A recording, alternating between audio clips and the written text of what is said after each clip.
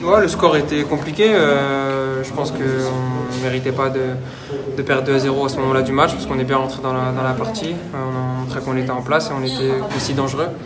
Mais on n'a pas su lâcher. Euh, je pense que tout le monde a vu que ces derniers matchs, Monaco se faisait aussi rejoindre quand il menait deux buts. Donc moi, le premier, j'y ai pensé.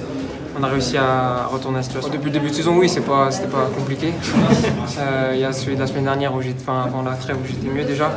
Euh, je retrouve des jambes, je retrouve du jus, donc euh, ça fait du bien. Et en plus, on gagne, donc tant mieux. T'es content? Ouais, je suis content. Faut pas, faut pas que ça s'enflamme. Euh, je pense qu'on a assez d'expérience pour rester humble euh, et prendre les matchs, prochains matchs Montpellier comme, comme ils viennent.